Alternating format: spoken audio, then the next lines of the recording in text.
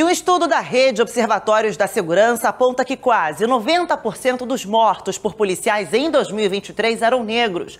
O Rio de Janeiro é o segundo no ranking da letalidade policial. Olá, hoje o Jornal do Rio Entrevista recebe Pablo Nunes, que é coordenador de projetos da Rede de Observatórios de Segurança, para comentar o lançamento do boletim Pele Alvo, que traz números importantes em relação às mortes em ações policiais principalmente identificando o perfil dessas pessoas que morrem durante essas ações policiais. Eu queria primeiro começar perguntando, pedindo para você explicar melhor o objetivo desse boletim e trazer para a gente quais foram as principais conclusões.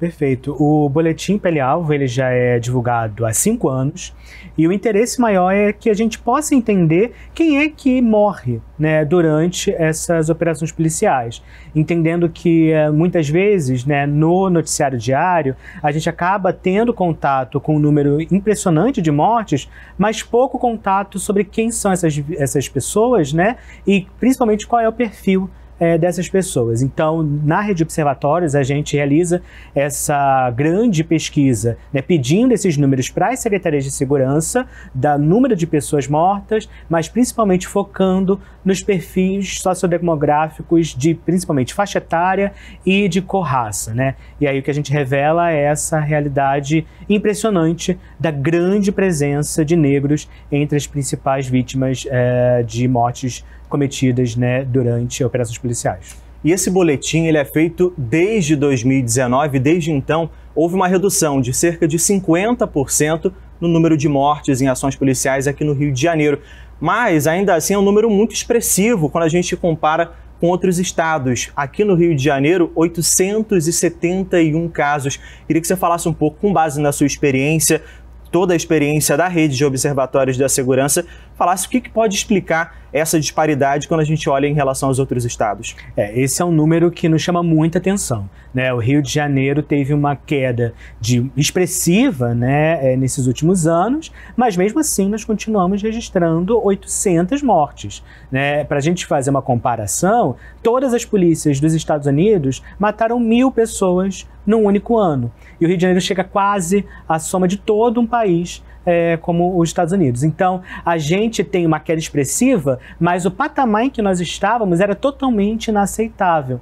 Né? É óbvio que manter essa redução tem que ser o principal objetivo. E quando a gente vai uh, segmentar né, essa redução, a gente vê que a população negra não se beneficiou dessas reduções. Né? Em alguns casos, por exemplo, uh, como no Rio de Janeiro, essa proporção de negros entre as vítimas se manteve inalterada, mas teve outros estados que a gente pôde analisar, por exemplo, como Pará, em que houve redução, mas o número de negros entre os mortos aumentou, mostrando que, por mais né, que essas políticas, né, ou que a falta de política, no fim das contas, né, casual, casuísmos, né, tenham deixado, né, tenham descido, tenham reduzido esses números nos últimos anos em alguns estados, e, e, a diferença, né, o perfil dessas mortes demonstra que não houve né, necessariamente políticas públicas voltadas para essa população que é a principal a, alvo desse tipo de morte. E são principalmente jovens negros, né? Além desse recorte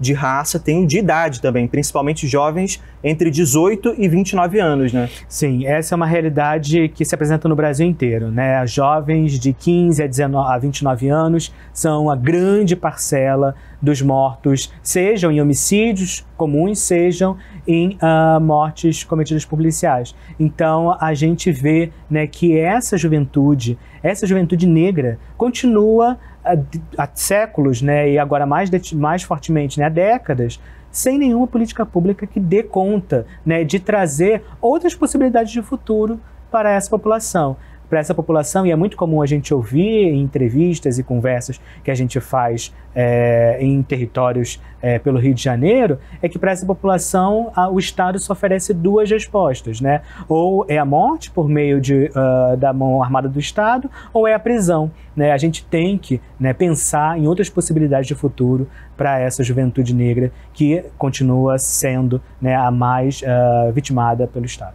E é uma realidade, Pablo, que a gente sabe que, que continua, uma realidade constante porque esse boletim ele é feito desde 2019 e desde então houve mudanças nos números, mas são números que continuam sendo alarmantes. Né? A discussão hoje sobre racismo é muito mais forte do que era há anos atrás, mas mesmo assim nós temos pouquíssimas políticas públicas estruturadas para lidar com essa situação. Então, por mais que a gente tenha documentado agora reduções em alguns estados do número de mortes cometidos por policiais, quando a gente vai olhar com um olhar mais detido na realidade do Estado, por exemplo, Rio de Janeiro, nós não tivemos nesses últimos anos políticas públicas de segurança realmente estruturadas, com metas, com objetivos e com responsabilidades delegadas a cada uma das instituições de segurança pública. Né? Hoje em dia, se a gente pergunta né, para os gestores qual é a meta em relação a essa realidade, a gente não vai ter uma resposta suficiente. Então, falta ainda para a gente ter mudanças significativas e sustentadas no tempo que a gente tenha públicas de verdade é, lidando com essa realidade dessa população. E Pablo, você consegue enxergar é, uma solução para esse cenário? Algum que tipo de política de segurança, política pública você consegue enxergar para tentar solucionar esse problema? Em primeiro lugar, nós temos que enxergar isso como um problema, né? E até hoje a gente não o fez. Né? E enxergar como problema significa criar indicadores, metas e objetivos para lidar com essa situação. Então, esse é o primeiro ponto, né? uma política pública de segurança real. O segundo ponto é que a gente tem que pensar nossas instituições policiais.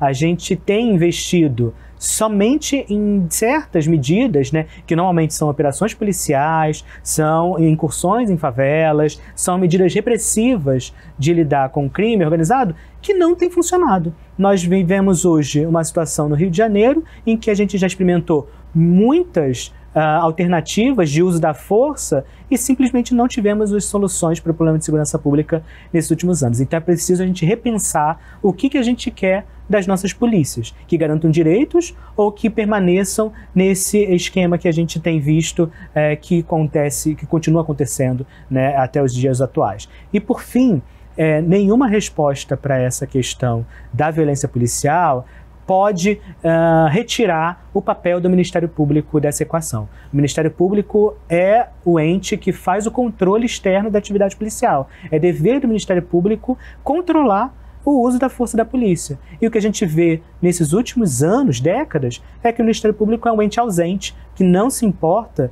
né, e que não se é, coloca para fazer o trabalho real de, uh, de controle externo das polícias e uh, faz com que essa roda da impunidade siga girando e fazendo com que esse ciclo de mortes continue se reproduzindo ano após ano. Pablo, só para a gente encerrar, eu queria trazer para essa nossa discussão um assunto que nesse mês principalmente volta à tona, que é o julgamento da DPF das favelas, que eu queria te perguntar saber se você acredita que essa medida que impôs certos limites à atuação da polícia justamente para reduzir a letalidade policial, se isso tem relação com a redução que a gente tem visto aí no ano passado e ao longo dos últimos anos.